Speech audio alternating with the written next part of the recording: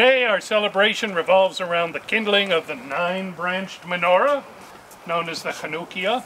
Each of the eight nights, another candle is added to the menorah. Hanukkah is a festival of religious freedom, and it has two miracles actually. There was a small group of farmers who conquered the Syrian army after many years, and they went back into the temple after it had been destroyed and found enough oil that would last for one night.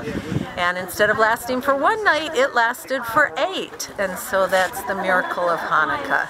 And this is our first community celebration where we bought a new menorah that we have on display tonight. And we've invited the community to join us to light the first night of Hanukkah. It's so warming to my heart, and I know to so many in our congregation to see so many friends here with us today. Hanukkah is a joyous time in the Jewish calendar.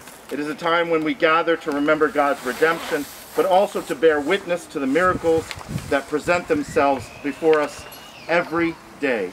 Not the least of those miracles being the mitzvah of caring for our neighbor and healing the world around us.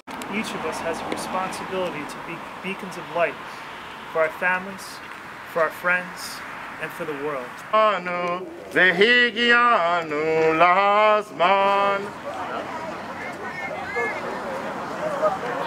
How you doing?